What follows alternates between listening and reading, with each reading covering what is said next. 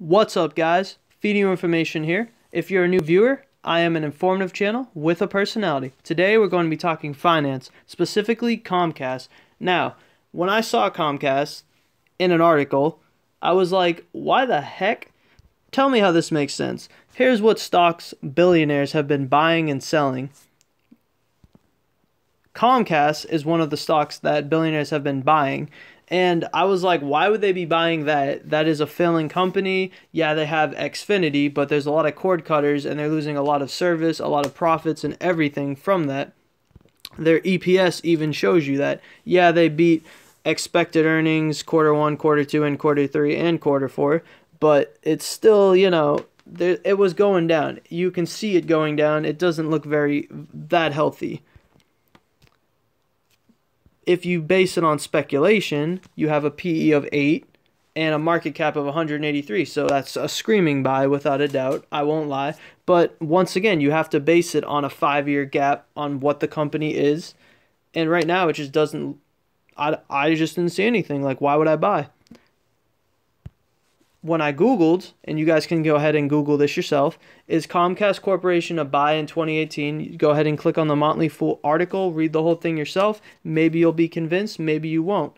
But let's go ahead and go down and sum up this argument. La la la la, sorry about that. The combination of NBC Universal and its cable communications business gives Comcast unique advantages against less diversified competitors in both markets, yet investors seemingly ignored those strengths as the stock sold off with companies that were more heavily exposed to cord cutters. Therefore, I think that Comcast is a solid investment for 2018 and is definitely a stock to buy on any irrational dips.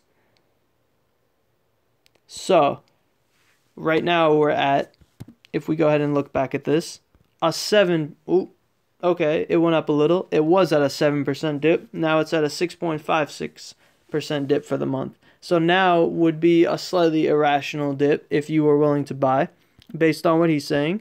Now let's go ahead and get further into this, which is supported by, oop, that was what I wanted you to hear. In the meantime, its forward dividend yield of 1.5%. Now listen to this, guys, which is supported by a low payout ratio of 29% provides a nice bonus for patient investors. So you're telling me you want me to be patient and let this company decide which one of four quarters to pay me that dividend rather than pay me all four times. I don't like that. And to me, if a company isn't paying dividends, what does that probably mean? It probably means that they're not doing too good on the profits. It probably means that they can't afford to do so. Right now, I am invested in Disney. And Disney right now, it's only up 2%. It's got a dividend of about the same, and I can tell you it always pays its dividend. PE ratio of 15, so it's higher.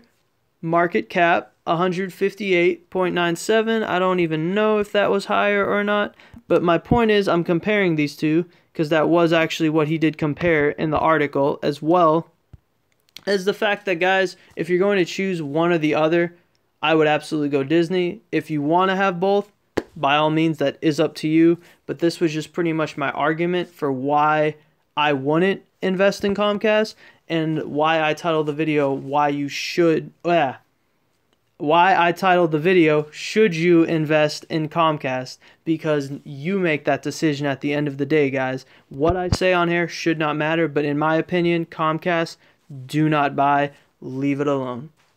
This was Feeding Information. If you enjoyed the video, please leave a like, make sure to subscribe, and have a great day.